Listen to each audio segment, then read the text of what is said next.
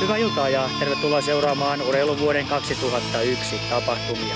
Tässä lähetyksessä kertaamme vuoden mieleenpainuvimpia urheilun hetkiä ja tapaamme monia maailman tähtiä. Urheiluvuosi 2001 käynnistyi täällä Lahdessa hiihdon maailmanmestaruuskilpailuilla. Kisosta piti tulla suomalaisen hiihdon komea näyteikkuna, mutta ikävä kyllä toisin kävi.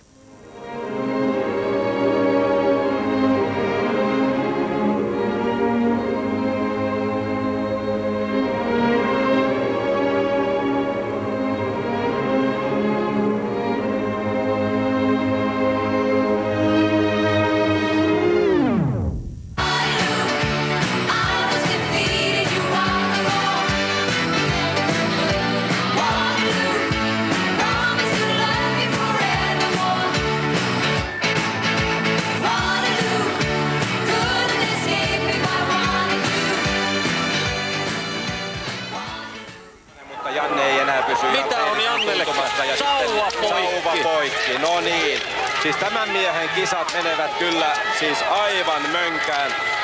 Itse asiassa koko Suomen hiihto porhalsi Laaden MM-kisojen kolmantena päivänä täyttä vauhtia kohti katastrofia. Ja Riisometsän taka-ajon hopeatanssi oli ennenaikaista. Hän oli antanut jo avausmatkan jälkeen positiivisen doping-näytteen. Rehelliseksi Lapin jätkäksi ilmoittautunut Isometsä kärysi Hemohes-nimisen plasmanlaajentajan käytöstä. Tämän toimenpiteen minulle on tehnyt täysin ulkopuolinen henkilö ja hän ei ole millään tavalla kytköksissä hiihtoliittoon tai mihinkään muuhunkaan järjestöön, että tämä on minun oma henkilökohtainen juttuni. Ja mistä se sitten Jari on käy- käyttöönsä aineen saanut, niin onko se lääkäri vai joku muu, niin sitä emme tiedä.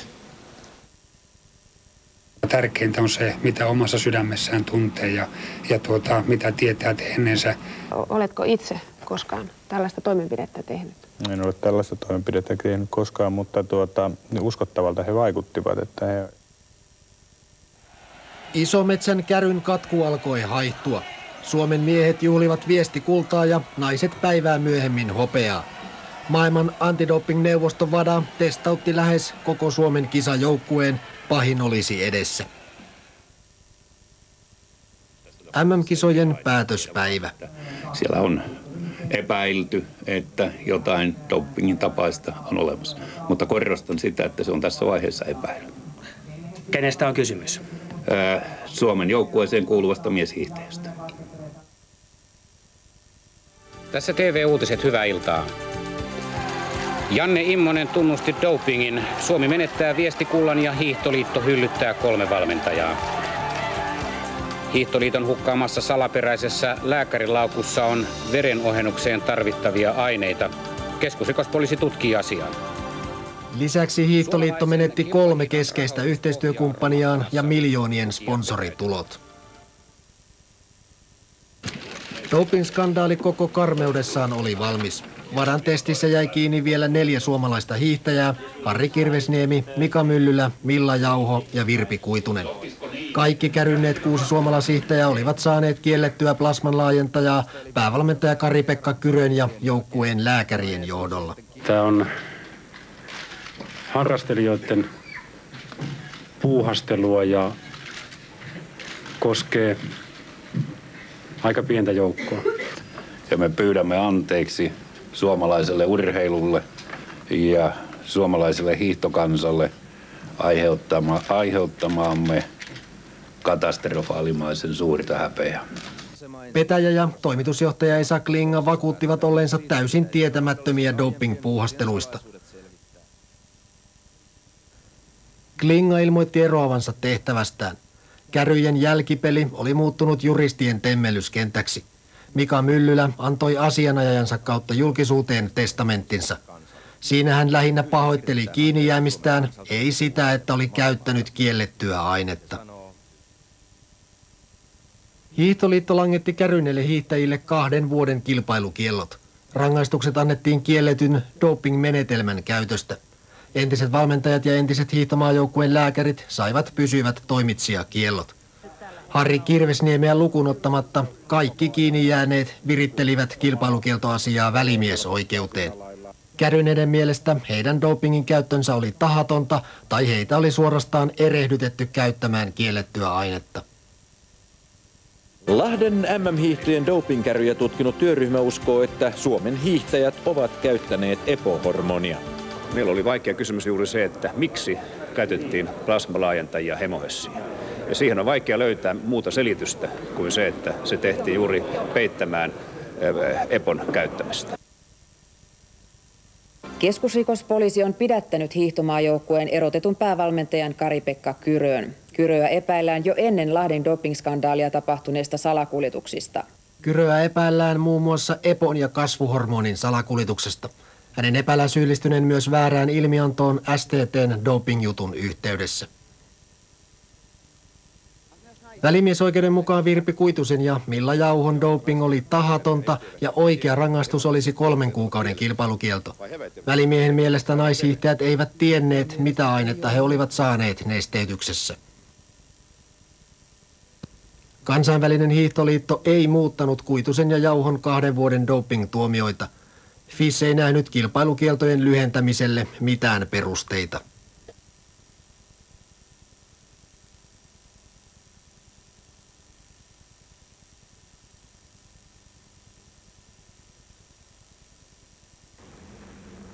Lahden ikävät tapahtumat jättivät arven suomalaiseen hiihtourheiluun, mutta paljon hyvääkin Lahdessa tapahtui.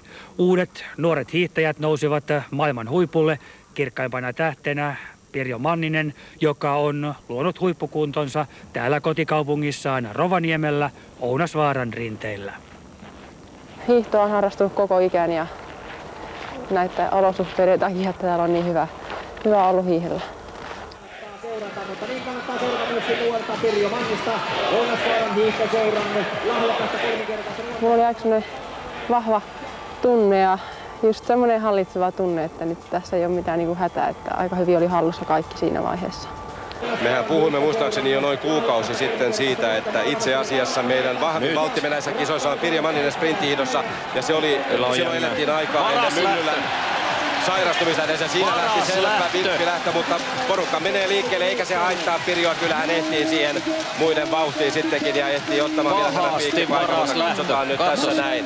Pirjo sittenkin, vaikka Tsepalova lähti aika röyhkeästi liikkeelle, ottaa sen ykköspaikan Tsepalova, Sundqvist, Valbuusa. Tämä ai, hyvin ai, menee, ai, hyvin menee, mutta nyt siellä... Sauva, ei, ei, ei, ei, ei, ei, mutta siellä on nyt tätä kolarointia ja Sundqvist karkaa kärkeen. Kuinka pitkään etukäteen mietit sitä, että millä lailla kisa ratkaisi? Ne aikaisemmat lähöt oli myös hyvänä siinä, että pystyi kokeilemaan, että missä, missä pystyy tekemään irtiottoa, että se oli se mulla se hinkkari nousi semmoinen paikka, mihin mä olin päättänyt, että siinä sitten viimeistään pyritään vähän rakoa saamaan. Ja Pirjo pääsee pienellä etumatkalla tähän nousuun. Kati Sundqvist oikealla ja Tsepalova yrittää vimmatusti Pirjon peesiin. Ei, ei pääse pysy. ihan. Ei pysy ei siinä. Pysy. Siinä on neljä metriä, viisi metriä eron. Ja Katikin Kati ehtii siihen kiilaa kakkoseksi. Tarkkana Pirjo, ettei tule mitään haaveria tässä lopussa, eikä tule. Vuoren varmasti siitä, mutta Sundqvist kakkosena. Olihan se aikamoinen tunne, että oli sitä yleisöä niin hirveästi ja huuto oli, huuto oli kova, että, että tota, kyllä siinä oli korkeat fiilikset itselle ja yritti vaan, että mahdollisimman kovaa pääsee, ettei muut takaisin. Pirjo Manninen ottaa voiton. ja Sundqvist pysyy kakkosena. Sepalova joutuu taitumaan, Suomi ottaa kakkosvoiton. Pirjo Manninen. On mestari, Kati Sundqvist on kakkonen, Sepalova on kolmas ja Valvuusa neljäs. Kaksoisvoitto. Kaksoisvoitto. Kyllä se ilo on ja sitten semmoinen hyvä olon tunne, että on, on mennyt tekemiset perille ja tämmöisiä suorituksia sitten pääsee.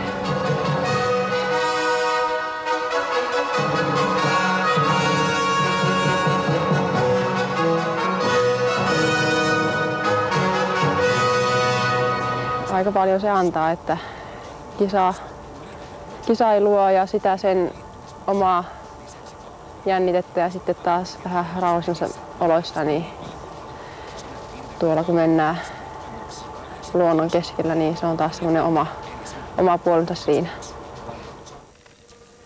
Naisten kolmannen mitalin pronssia 15 kilometrillä Lahdessa hiihti Kaisa Varis. Olkapäävamma haittasi kisoihin valmistautumista, mutta jossittelemaan hän ei sorru. No ei juurikaan, että kyllä sen jossittelu lopetti, lopetti siihen paikkaan joku asia oli tapahtunut ja tiedettiin, että mitä, mitä sitten todella on edessä, niin en ole kyllä siihen käyttänyt aikaa yhtään. Varista myös henkilökohtaisesti valmentaneen Kyrön tilalle uudeksi päävalmentajaksi valittiin Reijo Jylhä. Nyt Varis harjoittelee itsenäisesti ja tekoja seurataan tarkasti. Voihan olla, että näin ehkä onkin, mutta joka tapauksessa niin tämä mitä teen niin on se pääasia ja tämä on kuitenkin kaikilla tavoin sillä lailla tuttu, että tätä on jo monta vuotta tullut tehtyä, niin ei ole asia haitannut kyllä millään lailla.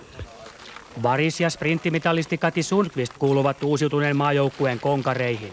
Uutta nousua haetaan innolla ja uskolla tulevaisuuteen. Tällä hetkellä on ihan hyvä tunnelma ja porukka on tiiviisti koossa ja kaikki tekee töitä täysillä eteenpäin. Et ihan positiivisella mielellä kuitenkin mennään kohti kilpailukautta. Meillä on kuitenkin kolme MM-mitallistia viime talvelta joukkuessa. Ja ainakin harjoituskauden perusteella näyttää, että naisryhmä on hyvin tasainen. Minkälainen liekki suomalaisessa hiidossa tänä päivänä palaa? Hyvä. Se on, se on ehkä roihahtanut uudella tavalla liekkiin.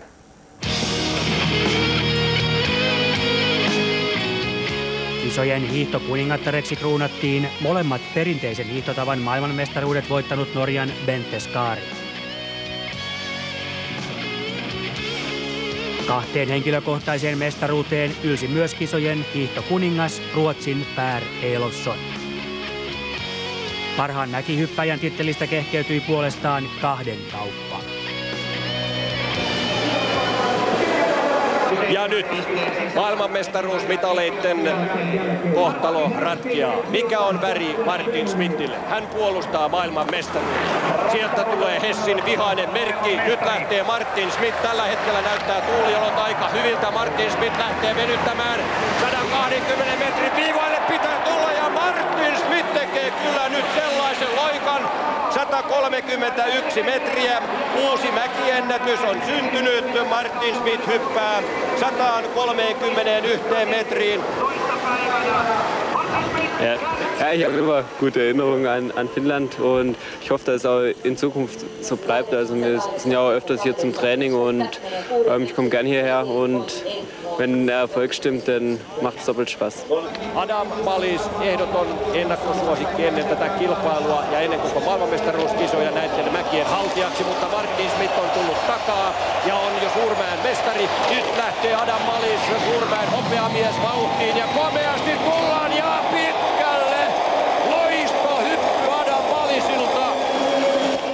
Malis ja Martin Smith jakoivat erikoismäkien mestaruuden. Joukkuekilpailussa Suurmäen mestaruus ja Pikkumäen pronssi kallistivat vaan saksalaisen hyväksi. Malis puolestaan voitti ylivoimaisesti lajin maailmankapin. Suomalaisista Janne Ahonen hyppäsi kotimäessään Suurmäen pronssia. Pikkumäen joukkuekilpailussa Suomi taisteli loppuun asti mestaruudesta. Yleisö on mukana. Nyt toivotaan kultaa. Janne Ahonen lähtee kotimäessään viimeisen kerran näissä maailmanmestaruuskisoissa ja tulee korkealta ja pitkälle, mutta tämä ei taida riittää. No joo, tiukka oli kisa ja taas hävitti. Mitä sanot omasta hypystäsi?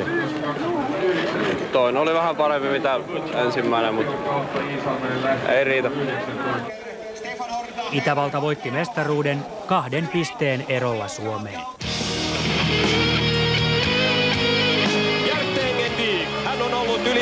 Urheilija. Viimeisissä arvokisoissa ottaa toisen kultamitalinsa ja ottaa norjalaisten toisen kultamitalin. Bjarte Engenvik, olympiavoittaja ja nyt kaksinkertainen henkilökohtainen maailmanmestari. Viik päätti komean uransa Lahdessa kahteen mestaruuteen.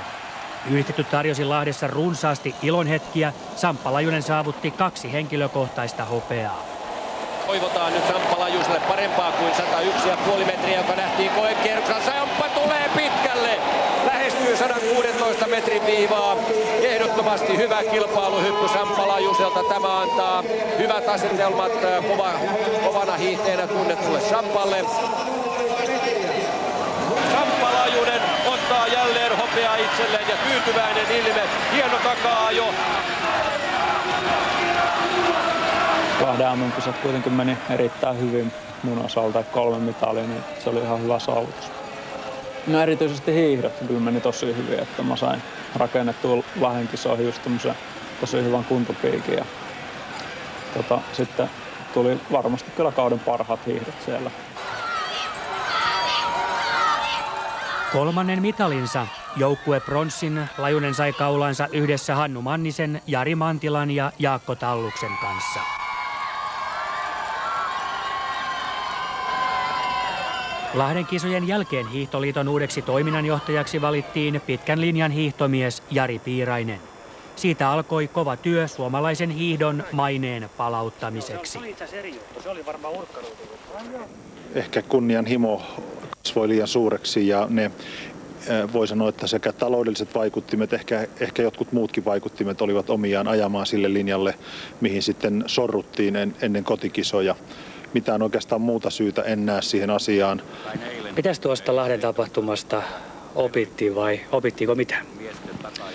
No mä uskon, että siitä opittiin hyvin paljon. Tietysti Suomen hiihtoliitto koki sellaisen shokkiherätyksen monella tavalla, että se on ollut omiaan terävöittämään meidän toimintaa kaikilla sen tasoilla ja kaikissa lajiryhmissä. Ja se on omalla tavallaan herättänyt huomaamaan sen tärkeyden, miten paljon pitää panna panoksia tuohon kansainväliseen antidoping-työhön, testijärjestelmien kehittämiseen ja ikään kuin urheilun tervehdyttämiseen sillä, niillä keinoilla, että siitä on opittu varmasti todella paljon, ei vain Suomessa, vaan koko kansainvälisessä hiihtopiirissä. Kaikenlaista meidän sopimuskulttuuria on täytynyt terävöittää vaikkakin tulevaisuudessakin asiat perustuvat luottamukseen. Siis jos joku haluaa vilppiä tehdä, niin sitä on mahdollista tehdä kaikilla elämäalueilla, ei vain urheilussa. Mutta tämmöisen luottamuksen kulttuurin rakentaminen on ehkä se kaikkein tärkein asia, että hyväksytään se, että jos tulosta ei tule puhtain keinoin, niin sitä ei tarvitse millään muulla keinolla edes yrittääkään, vaan että tehdään kaikkemme sen eteen, että puhdas ja rehellinen urheilu tuo tulosta, jos se on sitä tuodakseen.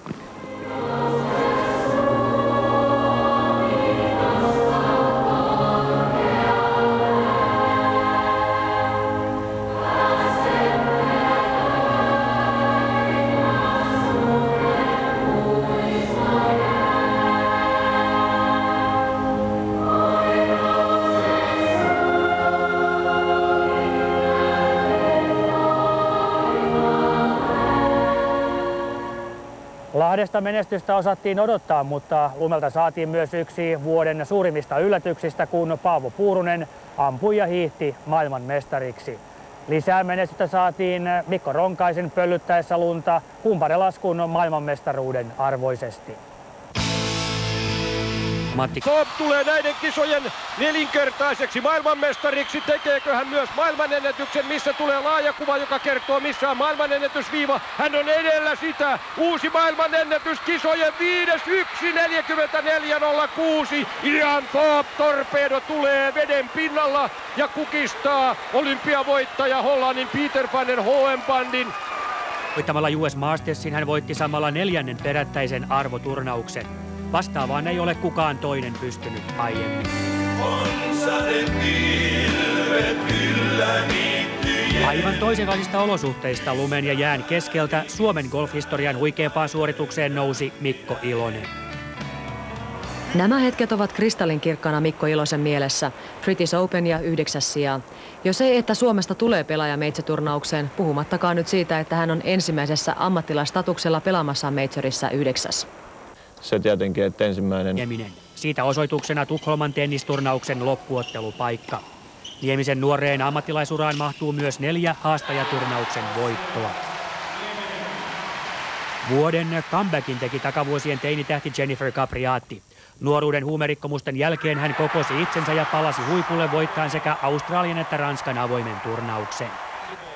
Yhdysvaltain avoimissa siskokset pelasivat ensimmäistä kertaa yli sataan vuoteen finaalissa – Williamsin siskoista vanhempi Venus voitti Serenan.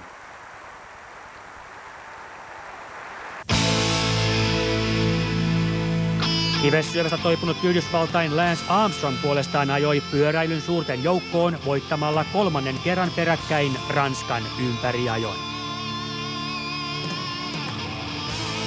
Ja koripallohistorian suurin tähti Michael Jordan taas palasi jo toistamiseen eläkepäiviltä NBA-liigaan.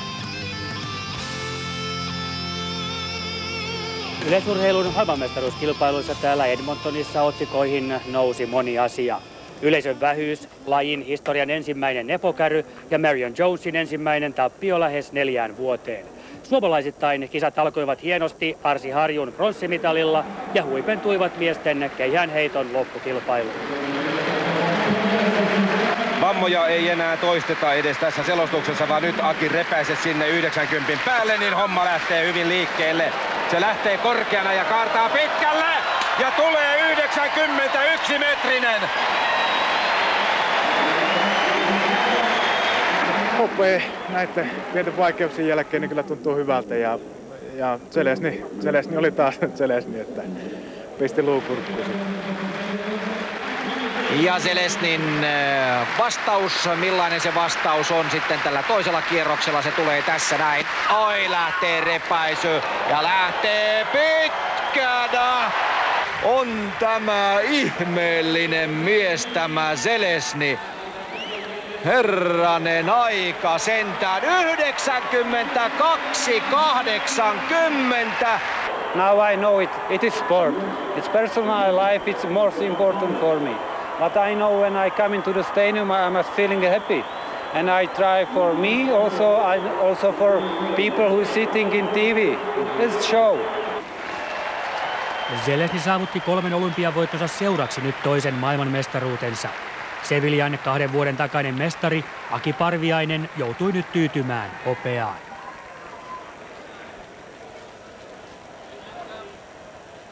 Aika hieno. Eikö ole komea? Syksyn myötä Parviaisen perhe muutti Pohjois-Karjalasta Pajulahden urheiluopiston naapuriin. Syksyllä myös operoitiin kesällä rikkoutunut olkapää. Se tiesi harjoitteluun pitkää taukoa. Kuinka hankalaa on olla keihästä pitkään erossa? No kyllä sitä varmaan ikävä tulee, että, mutta tuota, eipä se, jos, jos tota heittäminen sattuu, niin ei se silloin miellyttävää ole. Että sitten heitetään, kun se tuntuu siltä, että pystyy silleen tekemään normaalisuorituksia ilman kipuja, niin sitten se on hauskaa ja silloin se tuottaa myös tulosta. Kyllähän toi perhe ja pojat ja, ja, ja vaimo, niin totta kai ne on, on tärkeitä siinä ja, ja, ja niiden poikien kasvun seuraamista ja niiden kanssa peuhaaminen, niin onhan se kivaa. Ja sanotaan nämä viime vuodet ollut semmoisia, että kolme neljä kuukautta pois kotoa, niin onhan se aika paljon aika paljon, mutta... Se on, sanelee päiväjärjestyksen hyvin tarkkaan ja sen, että missä mennään ja mitä tehdään. Eli se vaatii sellaista yhteistä sopimusta, jotta... Kyllä jotta se on tuo... vähän semmoinen yhteisyritystoiminta, että sitä ollaan yksi perheyritys ja tehdään kaikki, puhalletaan samaan hiileen. Viime vuoden syksystä Parviaista on valmentanut kokenut Leo Pusa, joka kaikesta päätellen tietää mitä tekee. Harjoituskierros? Ei, se oli siinä. No erittäin määrätietoinen, kunnianhimoinen ja, ja lajin salosta tietävä urheilija, jonka kanssa on vaativa tehdä yhteistyötä. Joskus voit on kultamitaali.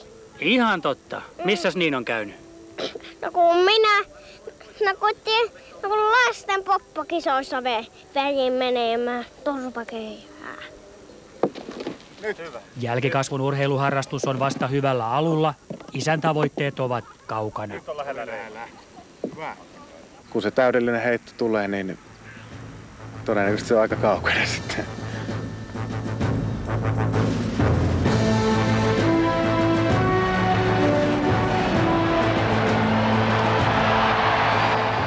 Suomalaisista myös Arsi Harju pääsi leikkaamaan mitalikakkua Kuulan työnnön pronssimiehenä. Kuulan karsinnassa vaikeuksia kokenut Yhdysvaltain John Godina ratkaisi finaalin klassisella tavalla ensimmäisellä työnnöllään. Aamupäivän karsinnassa pientä harhailua, mutta entä nyt sitten avaushuuto on ainakin hermoinen ja kyllä tulee heti sellainen työntö, että alta pois. Godinan avaus 21-87 riitti siis mestaruuteen. Godinan tavoin myös Harju näytti rautaiset kilpailijan hermonsa. Viimeisenä kuulomiehenä Suomen joukkueeseen selviytynyt Harju pääsi karsinasta jatkoon vasta viimeisellään. Finaalissa pamahti sitten 20-93. Kumpis on haastavampi paikka olla täällä koko porukan juhlittavana vai kuulla finaalissa ringissä? No kummassakin on se hyvä puoli, että ei tarvitse olla niin kovin kauaa. Koni Kaasson työnsi kuulan seitsemänneksi ennätyksellään 20-78. Hän venyttää täsmälleen saman tuloksen kuin karsintakisassa 14.28. Sivua kauden parastaan ja se tulos on vain 6 senttiä heikompi kuin hänen Suomen ennätyksensä. Ja sillä tulee kolmeloikka kisassa loppujen lopuksi viides tila. Heli Koivula nousi Suomen naisurheilijoista parhaaksi ja toisena pistesijaan ylsi keihään kuudes Mikaela Ingberg. Juhana aloittaa kyllä ensimmäisessä 100 metriä aika hyvin. Hyvin tasaisessa rintamassa tullaan Juhana tällä hetkellä vielä taistelee vahvasti jopa neljän parhaan joukkoon pääsemistä. Nyt alkaa sitten Juhana vauhti painaa ja ei mahda mitään. Vai tuleeko lopussa sitten sen verran hyvin vielä, että jaa, kyllä. menee neljänneksi. Pikajuoksija Johanna Manninen selviytyi molemmilla matkoillaan komeasti välieriin. Tomi Hartonen puolestaan sivusi satasella Suomen ennätystään ajalla 10.21 ja kakkosella mies juoksi välieriin. Komea suoritus molemmilta. Matti Närhin toinen perättäinen MM-kisa päättyi pahan loukkaantumiseen. Nyt repesi olkapää. Seuraavassa kooste kisojen huippuhetkistä.